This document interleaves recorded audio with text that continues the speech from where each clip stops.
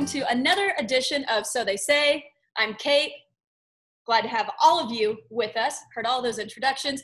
Uh, and today, talking about introductions, it's a guy that needs no introductions, but deserves the very best one 25 time world champ, Trevor Brazile. I'm giving you a big round of applause, Trevor. Thank you for that, Kate.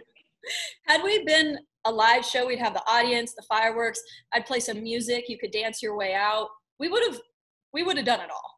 Yeah, well, we could we could have used the pyro. I would say save everybody from my dancing if we could. no, not a dancer. I thought I read somewhere you would agree to go on Dancing with the Stars. Well, I mean, I didn't say I would agree to win it. I just said I'd agree to go on it. I guess. To try. That's that's all you need. That's right. That's right. Salsa, little cha cha cha. That's uh maybe the faster the the better for me. Coming from my line of work. Yeah, you do things pretty quick. Uh, well, how's life been? How's the family life on the ranch? I mean, it's been different. I mean, you take coming off of a 20 something year career of rodeo down to semi retirement in itself is a huge change and obviously the change that everybody's dealt with you know throughout all the quarantine and kind of the new norm it's uh it's been a lot to take in but i think uh more than anything just being able to spend so much more time with my family through both of those headlines has been uh has been the best part of all of it and you've been spending a lot of time we were talking about with the kids getting in the practice pen some junior rodeo action happening now so How's that, Coach Brazile? Are you just dad to them, or are you the man in the practice man, pit? You'll have to uh, you'll have to ask them. I try my level best to just give some instruction and if it takes root great and if they want to do it their own that's what i tell everybody you know fundamentals are for everyone but uh, at some point you got to take it and make it your own so I don't want everybody to do everything like I did or like anybody else did. You take the best of everybody and and make it your own. Do you ever get the old yeah, dad, I've got this? Yeah. Well, in a lot of sports I do. Fortunately in rodeo, uh, they've usually got a few kids around that uh, will remind them that that I've had a little bit of success in that in that field and so I don't get as much of that as I do in baseball for sure hey, that's some wisdom there. That's good. And if you ever have to remind them, you just flash them one of those buckles. You got to put around, huh? hey, speaking of buckles, you brought a couple for us. We want to do a little show and tell. Do you keep all of them with you? I mean, do you polish them? Do you snuggle them? This, these I usually keep under my pillow. No, uh, they, I have most of mine at NRS. They have a display case for buckles and saddles. Uh, if you haven't seen it, it's it is uh, it's an awesome store, and they've done an awesome tribute right there to the front to uh, a lot of the championships that I've won. But uh, I brought a few with me today. Let's see, number number one will be the first world championship I ever won. 2002. I hope you can see it with the glare there, but uh, this one changed. It really did. It changed probably the whole course of my career. That's why it was a no brainer to grab this one first.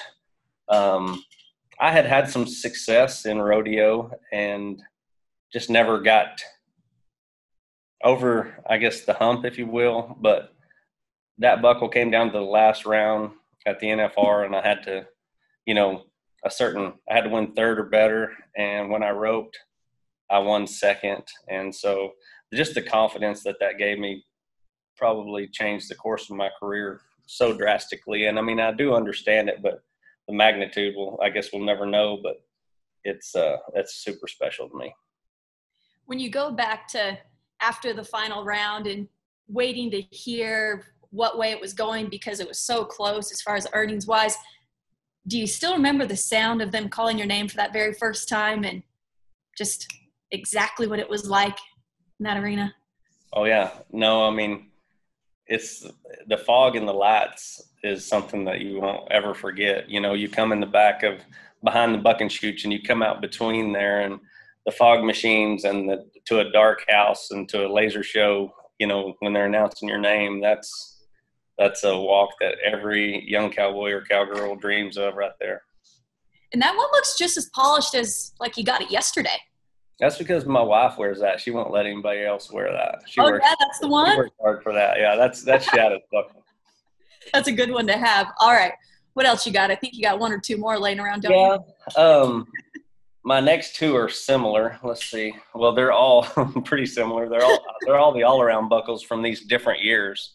Uh, but this one is 07 and this one is 2010 and they're both all around championships um, but these two are special because they came with two other world championships each so those were the i've won the triple crown two years in professional rodeo in 07 and 2010 each with a different combination of events. In 07, I won the tie down roping and the steer roping and the all around. And in 2010, I won the team roping, the tie down, and the all around. So those years were, I mean, that was just a dream come true. It's so hard to, uh, when you're rodeoing, doing multiple events, to uh, have everything go right in one event, you know, and win a world championship. But the year of 2010, especially, to be able to win the tie down roping and the team roping in the same year, uh, obviously catapulted me way up there in the all around. So that was uh, that will go in the books as one I'll never forget. Where do you go to dinner after the final night? Uh, you you win those. You got the family there. What's that night like after? You know, uh, it just they you go from as soon as they take you on that walk up the through the fog and up the stage. And once they kill the lights again, you're shuttled into a media room in the back of Thomas and Mack. It's an, it's where the the uh, basketball players have their practice gym, and that's the makeshift media room during the NFR. So you do interviews and tearful hugs with your family back there because they will they'll have ushers go get your family and uh, but by the time you get out of that everything is pretty much winding down, even in Las Vegas. Um, dinner's usually out. Uh, we usually had an after party at uh, the hotel that we always had to attend, and so it was always there was always something, and just the getting back up to the room and getting a hold to your family that was always the most special part because everything else seemed really scripted and you were guided through and ushered through on everything till you got back to your room. And although you're mentally exhausted, your adrenal glands are shot. It's uh, it's definitely just excitement, but it's a real peace too because it's finally over. Because when you're in Vegas, everything every day has so much pressure that goes along with that day that it's uh, it's nice to finally get that tenth round over with out there order room service and call it a night, huh? That's right. And well, what I didn't mention, this was, I really didn't win this buckle in the barrel racing. This is 2013 San Antonio Stock Show and Rodeo. My wife won the barrel racing there, and that really set up her year in 2013 to come out of nowhere and make the national finals in the barrel race. And that was that was probably the most special year to sit there and get to watch her compete after all the sacrifices she's made for me and Tuf and Clif and all the other guys in the family that you know were at the NFR and had been in the past to to see her realize her dreams out there that was really special. That is so special and so great to see the two of you together and just that bond and the relationship over the years and being parents being family people. So I'll tell you what, it inspires me. I've only been married a few years now, but uh, your guys' marriage definitely inspires me. Um, I know she's got a lot of confidence in you. Did she let you get on those barrel horses back in the day? yes, and I made sure everybody had their cameras in their pockets at the same time, or check them at the door because I wasn't going to have any viral barrel racing videos out there. So, but yes, we uh, we always would go and talk about it and do a little tuning and uh, it was like I say, I really did felt like I was hoarse after she won that buckle. Uh, I did a lot of screaming in that year. I bet. I bet. Well, some of it was even positive. No. Right. you got that great partnership with your wife. But uh, well, you and Patrick Smith, you spent a lot of time together, and I heard he could be quite the prankster. Something about black rice, a motorhome situation. Yeah, that was pretty good. That's a that good one. Will, that the only thing you have to know about Patrick Smith, and I love him like a brother, but anything that he says, we're just going to just back it off a few notches because he embellishes better than he ropes. so that's one of the better planks anyone's ever pre- played on me, though. It was, uh, and the thing is, it went on for so long, and uh, when you, I guess you just a good friend of mine, Chad Baker, was rodeoing with us as well as Patrick Smith and with my family. And uh, we were just going down the road, big old family, and uh, Shada had some black rice of or some sort. I don't know. I'm sure it was some really really healthy rice, but I had never seen it. And uh, the guys they thought it was pretty funny because they were looking to see what it was, and some inadvertently spilt out somewhere, and we had thought it was rat poop or mouse poop. And, and uh, I hope you viewers are ready for a poop story. But uh, always it uh, anything anyway. We uh, talked about it and we thought, how could we have mice on the bus? I mean, we're going all over the country, and I mean, what mouse would be that brave anyway? But anyway, so they kind of saw that it worked. And so they would plant little pieces of rice everywhere throughout the trailer and we would find it. And it got to the point where my wife was either going to sell the bus or we were going to have to stay in hotels everywhere we went because they had started putting uh, the rice in our bed. Oh no.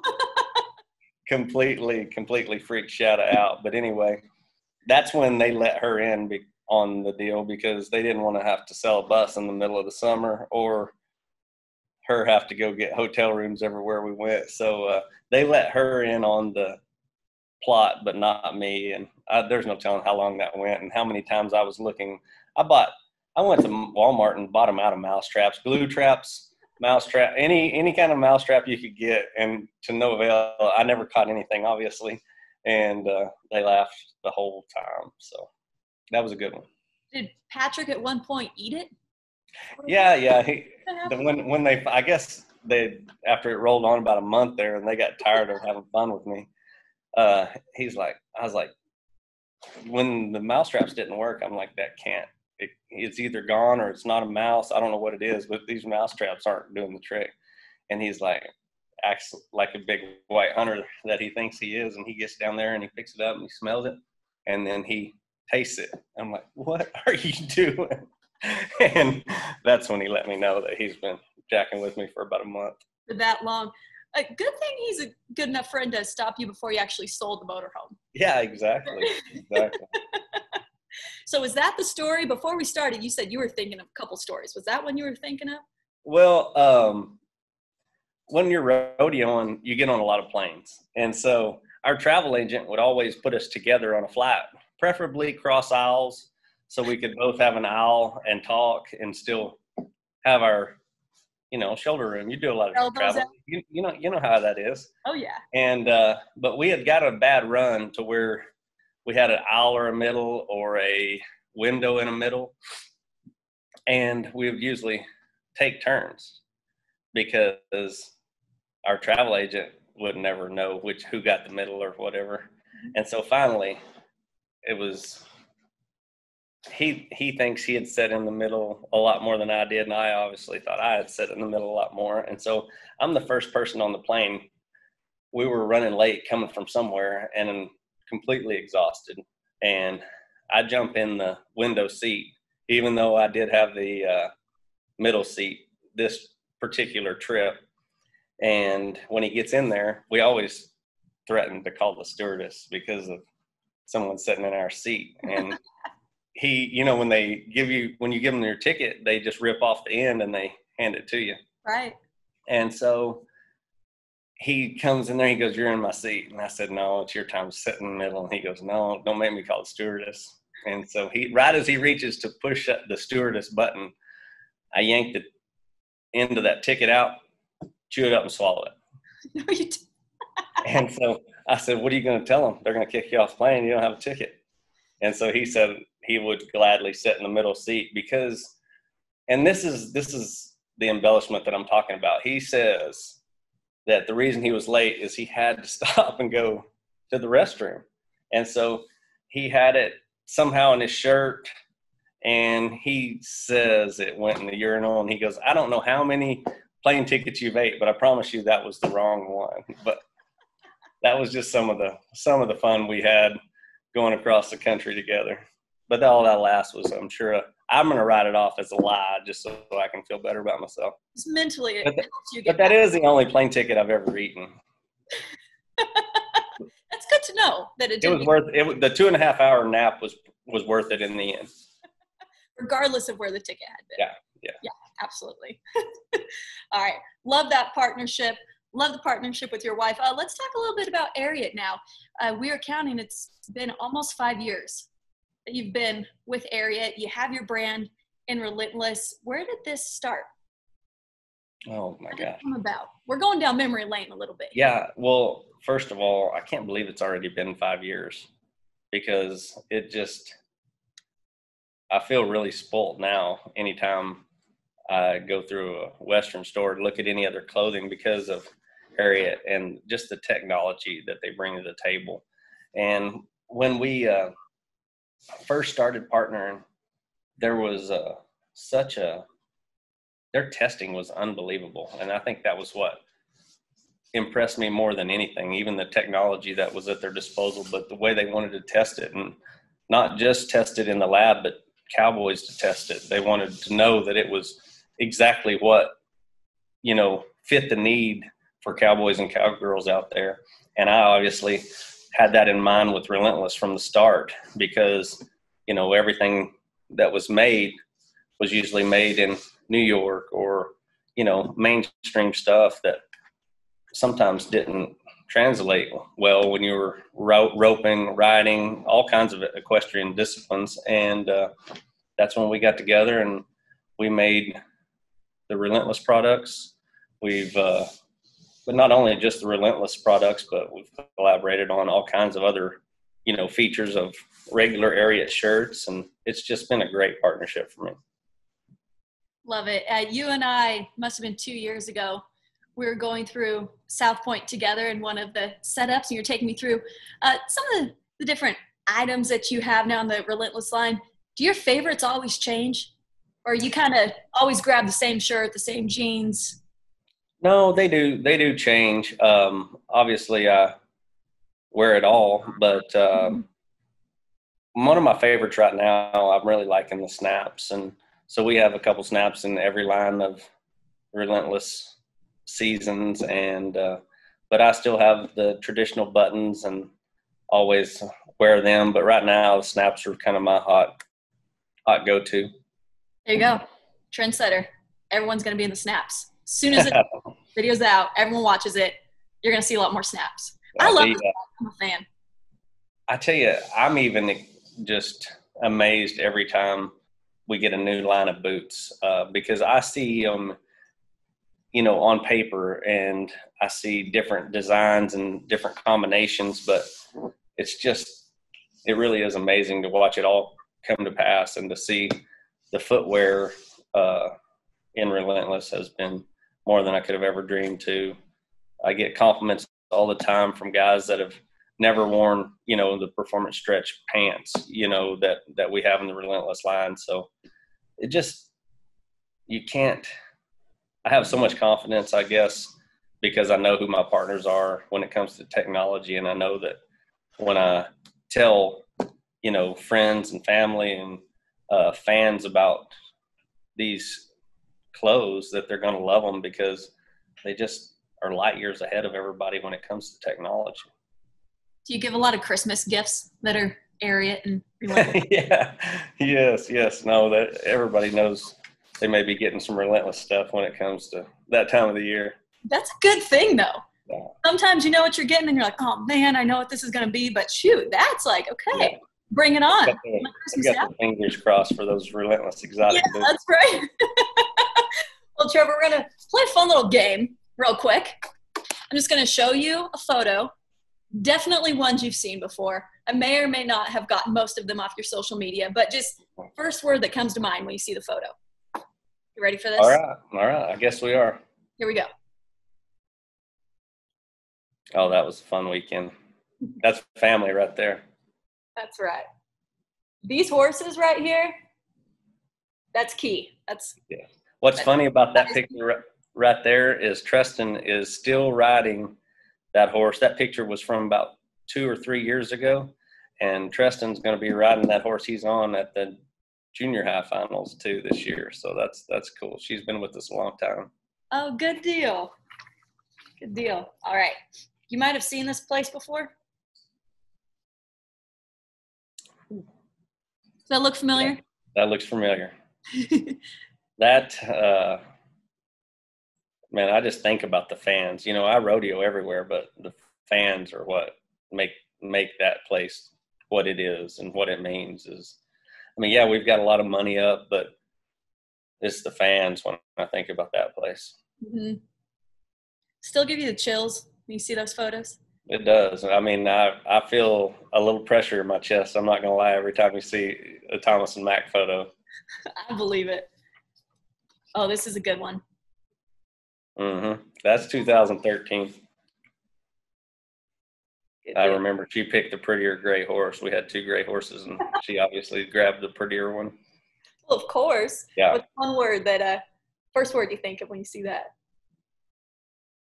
Shoot, that's just that's that's my partner right there. I was just that year was the time that uh, it just kind of got to have the rev- roles reversed just a little, and I was still living out my dream, but Mhm. she was able to do that too. That was I was so awesome. That's so cool. I love that so much. All right. Look at that stud. I mean, Yeah, sure, two studs, but we're just yeah. that uh, I think of hard work when I see that picture out there because everybody, if you haven't ever seen the video of Texaco Unbridled, it's on YouTube. I, ro- I rode him uh, without a bridle at a horse show, and just because that's the confidence I had in that horse, but it didn't come easy. I had a that, that was one of the best tie down horses I ever had, and it was the hardest one I've ever had to train. I learned, like say, more about training horses through that one little guy right there that was barely 14 hands tall than I did the other ones put together. Probably he was definitely a challenge. man. Hey, good things are worth it, right? Because That's right. what a horse he was. Well, we saw a few of these. That's some more hard work right there. yeah, we'll give you two words. Hard work. We'll, uh, we'll give you both those. Um, I know you said you've got some of these. The rest are in that NRS showroom. But uh, how often do you go look at them? Do you rent them out ever? Have you ever been asked that? Like, hey, can I can I borrow one of your buckles? Oh, uh, just just family, just family. That's a good call. You got to Yeah. protect. Yeah. There's got to be a lot of security cameras around these, right? I hope a lot of insurance and security cameras. That'll be a good call. All right, I got one more for you. That was my hero right there.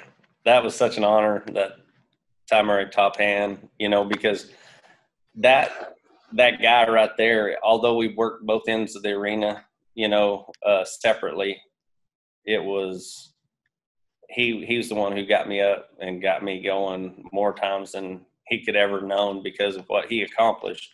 Made me think that it was possible to do that and then some. And so I although we never worked the same events I owe a lot of my success to him Gosh, from the buckles to this award, all of it so well deserved. And I got to say, as a true fan, it's been an honor just to watch you over the years and everything you've done. And I know you're semi-retirement now, but man, every time I see your name pop up that you're going to be at a rodeo or wherever it might be, it sure makes it fun. So I sure appreciate it. Appreciate everything you've you've done for the sport, and uh, don't stay too busy now. Okay, like you, maybe a vacation. Yeah vacation for sure but this has been a little bit different for me because all my uh, horses in the barn now are young and so i'm kind of getting into the training a little more that i was kind of had didn't have time for in the past, and so it's back to square one for me. I spend the better part of my day getting taught by horses again. It's been it's been fun. Well, we sure love it, and uh, we'll have to do this again soon. We'll bring the family on. You got it. Anytime. Anytime. Awesome. I appreciate it, Trevor. Thanks, Dave. See you soon. Bye bye.